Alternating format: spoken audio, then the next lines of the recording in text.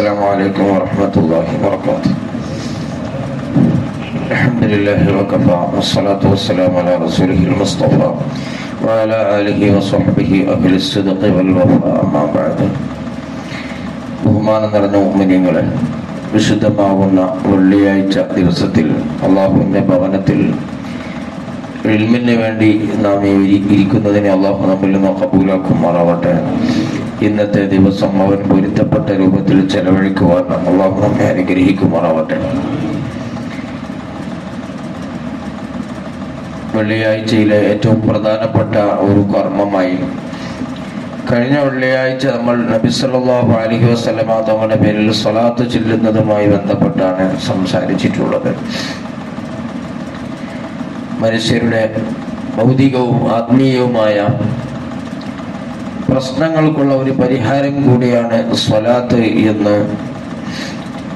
അനുഭവത്തിന്റെ വെളിച്ചത്തിൽ ഒരുപാട് മഹാന്മാർ വിശദീകരിച്ചതായിട്ട് കാണാം. അബ്ദുൽ ഹമീദ് എന്ന് പറയുന്ന ഒരു ഇസ്ലാമിക ഭരണാധികാരി ഹബീബായി റസൂലുള്ളാഹി സ്വല്ലല്ലാഹു അലൈഹി വസ്ലമ തങ്ങളെ അതിയായി സ്നേഹിച്ചുകൊണ്ട് എല്ലാ ദിവസവും രാത്രി ഉറങ്ങുന്നതിന് മുമ്പ് ആയിരം പ്രാവശ്യം ഒറ്റയ്ക്ക് ഇരുന്ന് നബി സല്ലല്ലാഹു അലൈഹി വസല്ലമ തങ്ങളുടെ പേരിൽ സ്വലാത്ത് ചെല്ലാറുണ്ട് എന്ന് ചരിത്രത്തിൽ കാണുന്നു. അദ്ദേഹം നബിതങ്ങളെ സ്നേഹിച്ചത് യൂസുഫ് ബഹാനി ഹാനി വിശദീകരിച്ചതായിട്ട് കാണാം.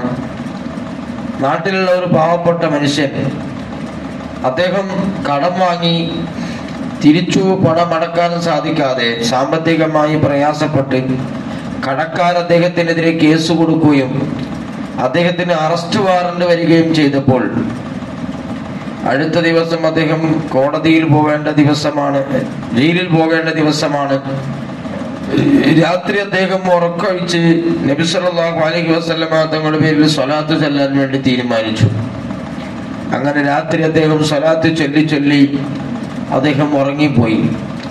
ഉറങ്ങത്തിൽ ഉറക്കത്തിൽ നബി സല്ലല്ലാഹു അലൈഹി വസല്ലമ തങ്ങളെ സ്വപ്നത്തിൽ കാണുകയും നബി തങ്ങൾ അദ്ദേഹത്തോട് പറഞ്ഞു നിന്റെ ഈ കടം ഞാൻ ഏറ്റെടുത്തിരിക്കുകയാണ്. അത് വീട്ടാനുള്ള മാർഗം ഞാൻ പറഞ്ഞു തരാം. നാളെ നേരം പുലർന്ന് ഈ കോടതിയിലേക്ക് പോകുന്നതിന്റെ മുമ്പായി രാജ്യത്തെ അബ്ദുൽ ഹമീദ് എന്ന് പറയുന്ന വരണാധികാരിയെ പോയി നീ കാണണം. എന്നിട്ട് അദ്ദേഹത്തോട് പറയണം എനിക്ക് കടം വീട്ടാനുള്ള പണം നിങ്ങളോട് തരണമെന്ന് നബി അലൈഹി വസല്ലമ തങ്ങൾ ആവശ്യപ്പെട്ടിട്ടുണ്ടോ എന്ന്. എന്നാൽ അദ്ദേഹം നിനക്ക് കടം വീട്ടാനുള്ള പണം നൽകും. അതോടുകൂടി അദ്ദേഹത്തോട് മറ്റൊരു കാര്യം കൂടി പറയണം. എന്നും രാത്രി എന്റെ അബ്ദുൽ ഹമീദ് എന്റെ പേരിൽ ആയിരം സലാത്ത് ചെല്ലാറുണ്ട്. ഇന്നലെ രാത്രി അദ്ദേഹം ചെല്ലിയ സലാത്ത് ആയിരം തികഞ്ഞിട്ടില്ല എന്ന വിവരവും നീ അദ്ദേഹത്തെ അറിയിക്കണം എന്ന് പറഞ്ഞു. രാവിലെ അദ്ദേഹം വളരെ സന്തോഷത്തോടു കൂടി അബ്ദുൽ ഹമീദ് എന്ന് പറയുന്ന മന്ത്രിയുടെ അരികിലേക്ക് ചെന്നു. അവിടെ ചെന്നപ്പോൾ അദ്ദേഹത്തിന്റെ ദർബാർ അടച്ചിരുന്നു. പാറാവുകാരൻ ഉള്ളിലേക്ക് കയറാൻ കയറ്റാൻ സമ്മതിച്ചില്ല. ഒരുപാട് പ്രാവശ്യം പറഞ്ഞു നോക്കി അദ്ദേഹം കയറ്റാൻ സമ്മതിച്ചില്ല. അദ്ദേഹം അവസാനം ഇദ്ദേഹം പറഞ്ഞു ഞാൻ പറയാൻ പോകുന്ന വിവരം നാളെ ഞാൻ മന്ത്രിയെ കണ്ട് പറഞ്ഞാൽ നിന്റെ ജോലി നഷ്ടപ്പെടാൻ വരെ കാരണമാകും. അതുകൊണ്ട് എനിക്ക് ഇനി ഡോറ് തുറന്നു തരണമെന്ന്. അപ്പോൾ ഈ പാറാവുകാരൻ ഉള്ളിൽ ചെന്നിട്ട് മന്ത്രിയെ കണ്ടുകൊണ്ട് പറഞ്ഞു ഇങ്ങനെ ഒരാൾ വന്ന് പുറത്തു നിന്ന് ആവശ്യപ്പെടുന്നുണ്ട്. അദ്ദേഹത്തെ അകത്തേക്ക് കയറ്റി വിടേണ്ടതുണ്ടോ എന്ന്? മന്ത്രി പറഞ്ഞു അദ്ദേഹത്തെ അകത്തേക്ക് കയറ്റി വിടൂ. അങ്ങനെ അദ്ദേഹത്തെ ഉള്ളിലേക്ക് കയറ്റി വിട്ടു.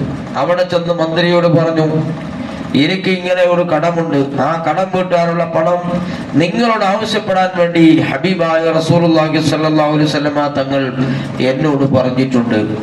തദടിസ്ഥാനത്തിൽ ഞാൻ നിങ്ങളോട് ആവശ്യപ്പെടുകയാണ്. അക്കൂട്ടത്തിൽ നബി തങ്ങൾ മറ്റൊരു കാര്യവും പറഞ്ഞിട്ടുണ്ട്.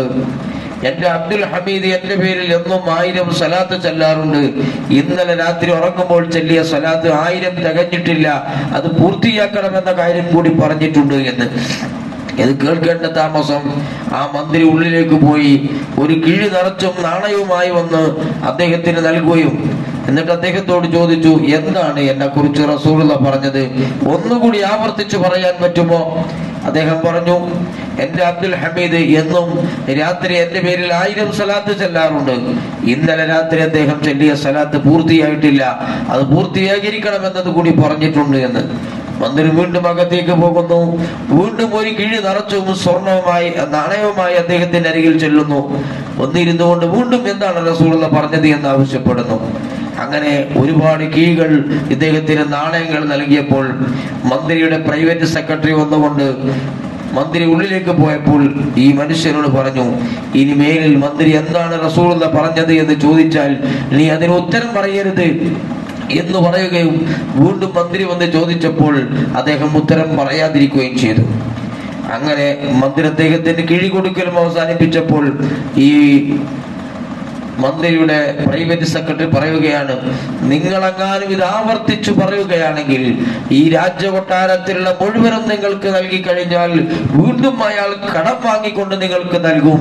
കാരണം നിങ്ങൾ പറയുന്ന വാചകം എന്റെ അബ്ദുൽ ഹമീദ് എന്ന് നബി സല്ലല്ലാഹു അലൈഹി തങ്ങൾ പറഞ്ഞു എന്നാണ്.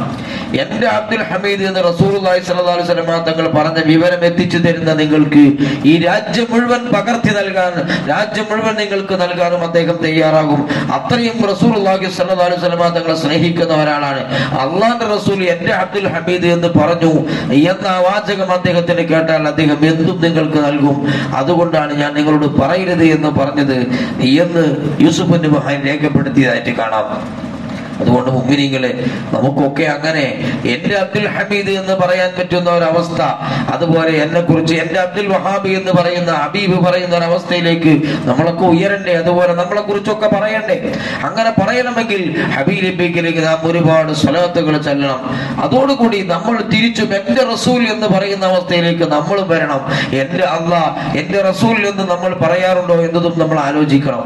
വെറുതെ പറയല്ല മനസ്സിന്റെ ഉള്ളിൽ നിന്ന് എന്റെ ഉമ്മയെ കാണിച്ചു നീ ഇത് ആരാണെന്ന് ചോദിച്ചാൽ എന്റെ ഉമ്മയാണ് എന്ന് ഞാൻ പറയും നിങ്ങളും പറയും. ഉമ്മക്ക് വേറെ മക്കളുണ്ടാകും. നാലും അഞ്ചും എട്ടും പത്തും മക്കളുള്ള ഉമ്മാനെ കുറിച്ച് ഇതാരാണെന്ന് ചോദിച്ചാൽ എന്റെ ഉമ്മ എന്നാണ് നമ്മൾ പറയാറുള്ളത്.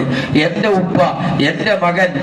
നമുക്ക് കുറെ മക്കളുണ്ടാകും. ഒരു മകനെ കുറിച്ച് നോക്കുമ്പോൾ അത് എന്റെ മകൻ എന്ന് നമ്മൾ പറയും. എന്നാൽ അള്ളാഹുവിനെ കുറിച്ച് പറയുമ്പോൾ എന്റെ അള്ളാഹ് എന്നോ റസൂൽ തങ്ങളെ കുറിച്ച് പറയുമ്പോൾ എന്റെ റസൂൽ എന്നോ പറയുന്ന ഒരവസ്ഥയിലേക്ക് നമ്മൾ ഉയരാതെ പോകുന്നു എന്നത് നമ്മുടെ ഹൃദയത്തിലുള്ള സ്നേഹത്തിന്റെ കുറവ് കൊണ്ടാണ്. ആ സ്നേഹത്തിന്റെ കുറവുകൾ നമ്മൾ നികത്തി അള്ളാഹുവിന്റെയും റസൂലിന്റെയും ആളുകളായി നമുക്ക് മുന്നോട്ട് പോകണം. അള്ളാഹു അതിന് നമ്മെ അനുഗ്രഹിക്കുമാറാവട്ടെ.